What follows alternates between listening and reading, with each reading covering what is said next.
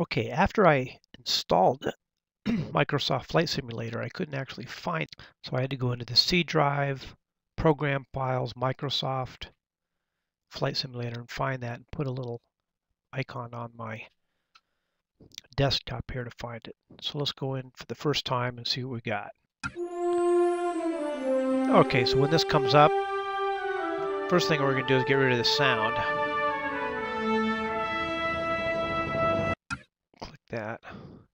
Okay, this is the home. This is the home screen here. We're, and the first thing we're going to do is we're going to go down to settings, and we need to um, change our settings here. We got sound, controls. Okay, now one thing that's nice about uh, Flight Simulator X is that it, uh, it, it recognizes that you've got a um, what joysticks you have. So we're going to work on our, and it actually uh, properly assigns the axis controls. So that's a good start. But but as far as the button keys go, um, it doesn't do a very good job there. So what we're going to do is we're going to uh, 2D cockpit view. Now this should be button number uh, one, the easiest to always get to. So you don't have to hit uh, F10.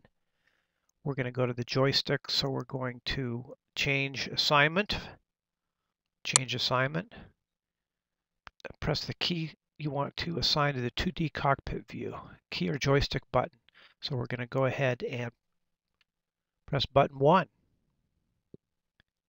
Click OK. So now what we've done is for the 2D cockpit view, we've got button 1. So whenever we hit button 1, we're going to be in the 2D cockpit view. Now that's uh, very uh, handy to be able to accomplish this. And we're going to go down here. We're going to go down through It actually takes button number two. Let's go down here and find that.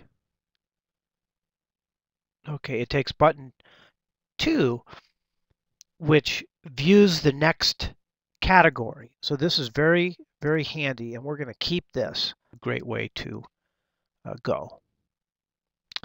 Okay, so next what we're going to do is our, our uh, second button here is for next category. Now we're going to do our third button uh, next in current category. And you'll see why, why we're going to do this here. But we want our buttons to be uh, set up so we can view. So we're going to go in here. We're going to change assignment. We're going to hit our top right button, button 3. Click OK. So now we've got button Three is the, the uh, view a next category.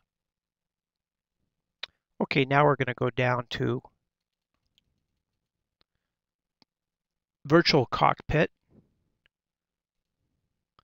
Change assignment. We're going to hit our lower button here and assign that.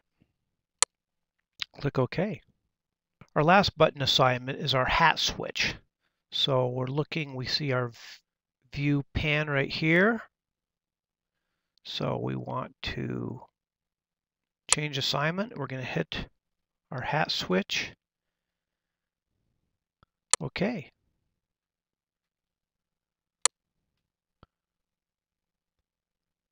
So now we're going to go in back to our free flight.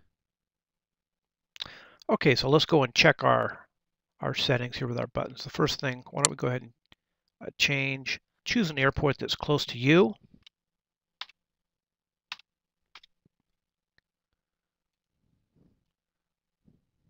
Choose that as a starting point. Uh, change the time to something that is where we can see out. Okay, we're going to change the aircraft to, even though we don't have a light sport up yet, we're going to go with a Cessna on a glass panel here to just get started and check our buttons. Okay, and we're going to go to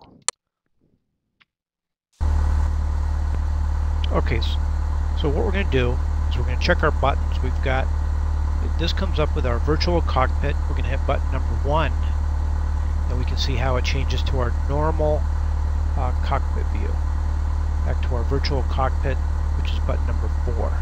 Now we're going to hit our button number two, which is our top left button. And that switches between all the different views. Aircraft view, virtual cockpit. Now, if now if we go with our top right button, this switches all the different cockpit views.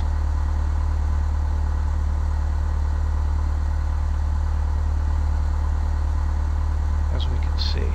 So we're gonna now we're gonna go to our outside spot view. We're gonna switch between those different views. We've got our lock spot.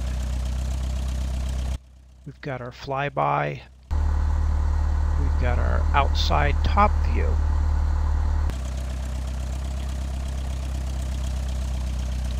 We're going to switch to our next tower view.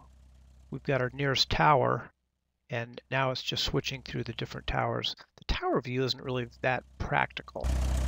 Now we're looking at the aircraft view. We're going to switch between those. Okay, so again, we're using our top left button, button number two, to switch between all the, the main views, aircraft view, cockpit view, outside view, and then our secondary, once we get into our main view, our secondary top right hand button switches between all the different sub views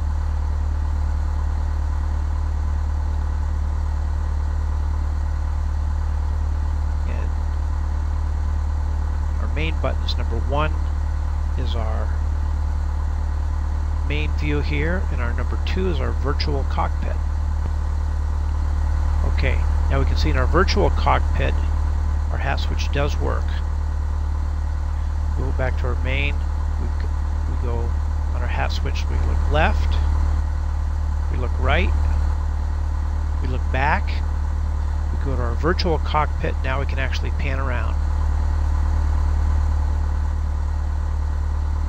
Okay, down, up. So we've got our hat switch actually working right now. So there we go.